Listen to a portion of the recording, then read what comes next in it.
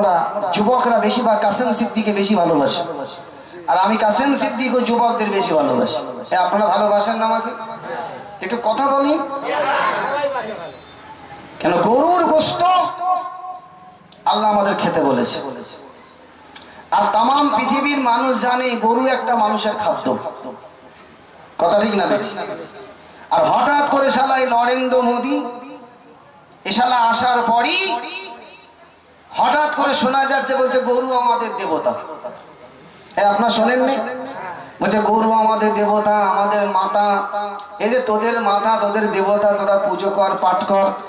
ছোট মুখে চুমুখা দরকার হয় পাঁচাই চুমুখা তোদের কাজ মিটে গেলে আমাদের দিকে ঠেলে দিবি। আমরা সাপ্পান সাপ্পা করে দেবো কথা ঠিক না, বেটি? এই ছেলেরা আমার কথা একমত? দেখি কারা কারা একমত? মাশাল্লাহ না রে দেখবে।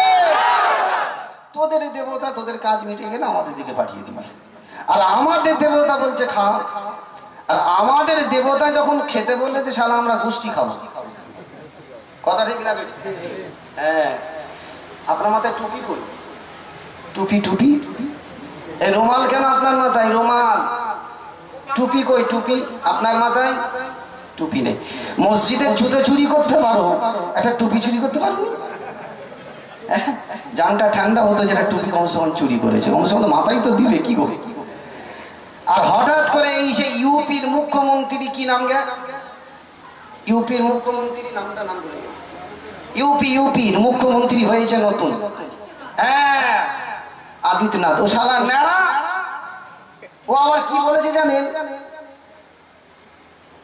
ওর মাথায় যে কোন শয়তান পিসাব করেছে, আল্লাহ ছাড়া কেউ জানেনি। হঠাৎ করে কিছুদিন আগে ও ন্যাড়া বলছে গরুদের আধার কার্ড করতে হবে। আপনারা শোনেন? ডাক্তার সাহেব শোনেন না আপনি? এদিকে আসেন, ডাক্তার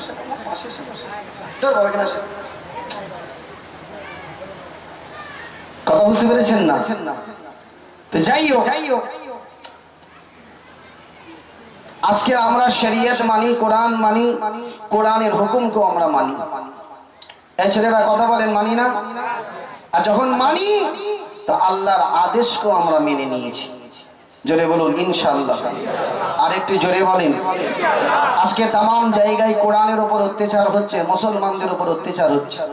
কিছুদিন আগে বারাসাত দত্তপুকুর নাম শুনেছেন? একটা মন্দিরের ভেতরে বলছে, গরুর গোস্ত রেখেছে মুসলমানেরা। আপনারা শোনেন কিছুদিন আগে হলো। সব ওই আশপাশে কিছু মুসলমানদের ঘর, বাড়ি সব পুড়িয়ে দিল, ভেঙে দিল। বলছে, মোল্লারা এই কাজ করেছে, মুসলমান এই কাজ করেছে। আমি খবর পেয়ে আমি সেখানে গিয়েছিলাম বারাসাতে। একজন বলছে, হুজুর, এই বাড়িতে অনেক কোরআন ছিল। এই বাড়িটাও পুড়ে গেছে, কোরআনও পুড়ে গেছে। আমি, কোরআন পুড়ে গেছে, ঘর, বাড়ি সব পুড়ে গেছে, চলো দেখি কেমন কোরআন পুড়ে গেছে। বলে, হুজুর দেখছেন না, সব র্যাব দাঁড়িয়েছে র্যাব। আমরা যে দেখব, আমাদেরকে দেখতে দিচ্ছে না। আমাদের কোরআন, আমরা দেখব, ওরা আটকাবে কেন? ভাই জানেরা, জোয়ান যুবাকেরা ও মায়েরা, বোনেরা, বেটিরা, যে ঘরটার ভেতরে কোরআন ছিল বাবা, সেই ঘরটার ভেতরে প্রবেশ করলাম। যেখানে কোরআনগুলো রাখা ছিল, সেই জায়গায় গিয়ে দাঁড়ালাম।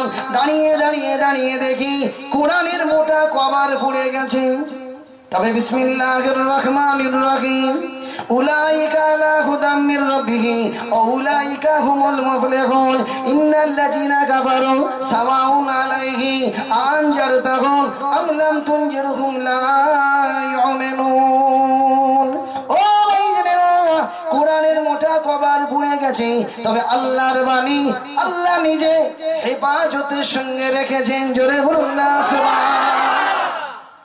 এই ছেলেরা জোয়ান যুবাকেরা আমার আল্লাহ বলেছিলেন, যতদিন পর্যন্ত কেয়ামত না হবে, ততদিন পর্যন্ত আমি আল্লাহ আমার বাণীর হেফাজত করব।